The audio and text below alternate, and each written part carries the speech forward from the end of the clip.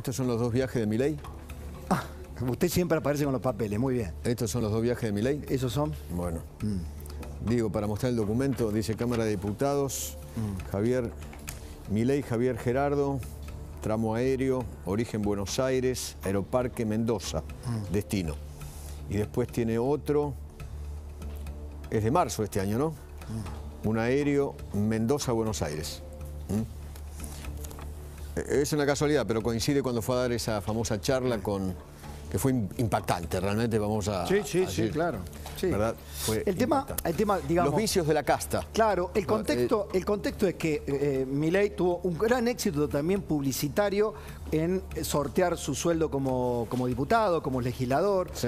Como, eh, no necesito que me, que me den eh, la guita. No vivo del Estado. No vivo del Estado. Bueno, Porque justamente hay que terminar con la casta política que vive del Estado. Exacto. Es más, eh, en muchas oportunidades, varios miembros de, de ¿cómo, cómo se llama?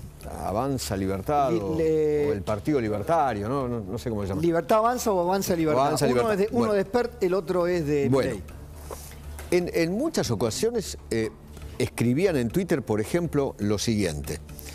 El problema es que no quiere ceder nada la clase política. La que se nutre de los choferes con auto oficial, sueldos exorbitantes, pasajes al exterior y al interior del país, cantidad estrafalaria de asesores, exención de impuestos, etcétera. Etcétera. Pero, a ver,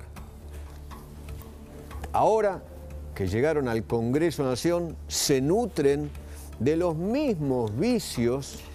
Si vos te vestís de blanco, una manchita chiquita se nota. Es un, No, no, es no, un es- es así, problema. es así, un es problema. así. Hoy, te digo una cosa, ¿no? Pe- perdón.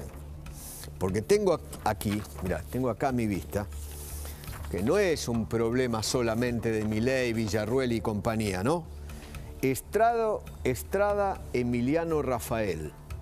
Entre enero, febrero y marzo, el tipo usó 30 pasajes de avión del frente de todos. Mm, Exacto. Hay otro diputado que es mm, Ever Albano Páez Plaza o, o Pérez Plaza, una cosa así. También usó 30 pasajes, es del Frente de Todos de Mendoza. Eh, es la casta, es la casta. Sánchez Roberto Antonio usó 30 pasajes en, en- porque la Cámara de Diputados da a conocer por trimestre, enero, febrero, marzo.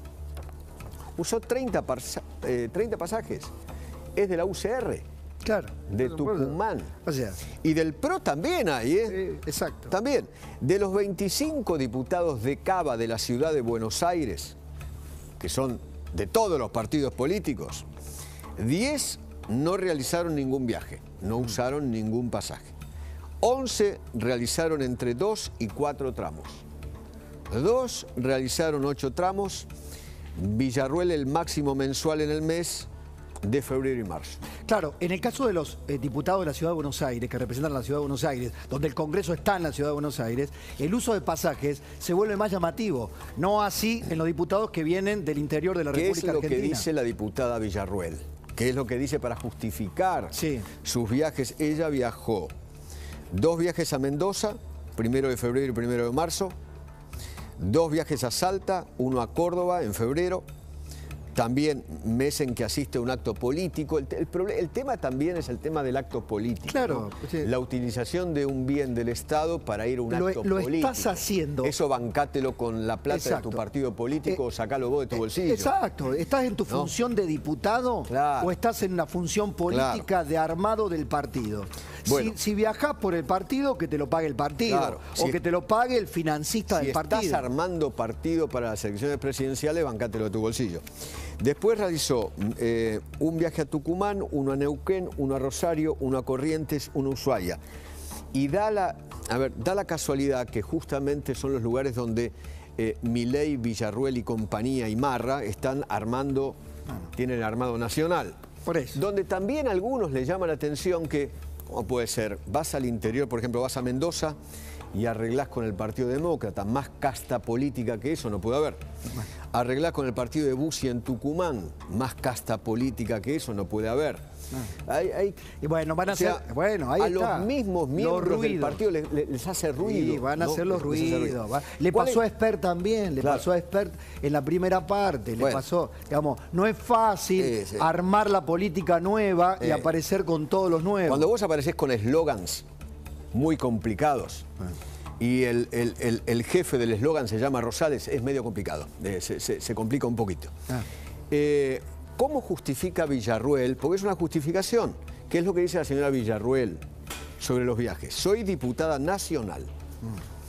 Y de la Quiaca a Ushuaia voy a ir a todos los rincones del país donde haya argentinos sin ser escuchados. No, no, es una falacia. es una falacia, bueno, es una falacia. Representa... Mientras no sesionemos, me reuniré con todos los argentinos que pueda. Sí, yo también. Porque en donde no sean escuchados, acá tienen una diputada. Yo soy un ciudadano del mundo. Con la que cuentan. Está bien, yo soy un ciudadano del mundo, entonces páguenme, pues me voy a ir a hablar a todos los africanos. No, yo representa. representa... Cuando contamos, contamos todo. Por eso, representa. No significa abandonar la batalla cultural vamos a seguir dando la batalla cultural, pero ahora además desde adentro de la política.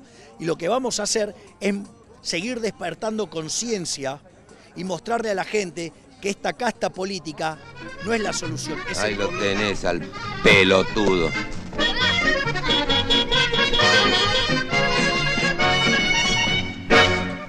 A mí